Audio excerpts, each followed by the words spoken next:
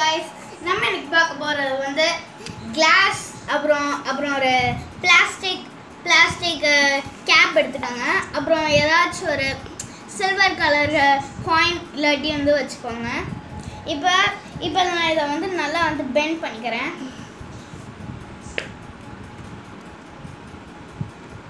Bend பண்ணிட்டேன். இப்போ இப்போ நான் இதுலேருந்து நான் ஒரு காயின் எடுத்து நான் வந்து வச்சிடுறேன் இங்கே. இப்போ நான் இதை வந்து கிளாஸால் கவர் பண்ணிடுறேன். எவ்வளோ பண்ணால இதால் வந்து போகவே முடியாது கிளாஸ்க்குள்ளே இப்போ இப்போ பாருங்க. போல. பாருங்க. ரெண்டு குழந்தை வந்து மாறிடுச்சு.